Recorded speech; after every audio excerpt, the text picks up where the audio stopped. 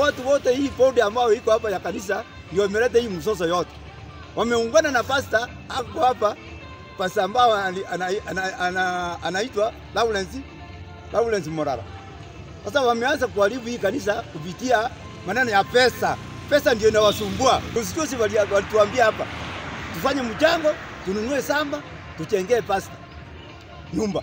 Tukaenda tukanunua, tukachanga pesa mpaka wakanunua samba, wamemchengea nyumba ya 11 milioni, na sasa amekaa hapa kwa muda ya miaka kumi na moja.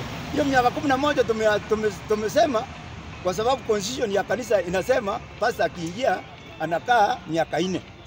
Hiyo miaka ine aki, akiona kama tukiona kama yeye ni mzuri tunamwongeza miaka ingine nne inakuwa miaka nane.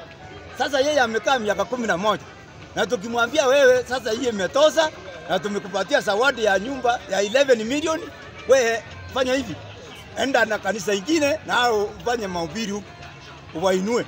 Hataki kutoka, wacha wacha nini ile balancing sheet ya, ya kanisa tunachanga pesa inafika milioni nane halafu wanakuja wanatusomea nini balancing sheet ya nini ya ya, ya mwaka wanatuambia ati milioni mbili ilienda kwa nini imeenda kwa msara wa, wa, wa, wa, wa pastors milioni nyingine mbili ati imeenda kwa vijana.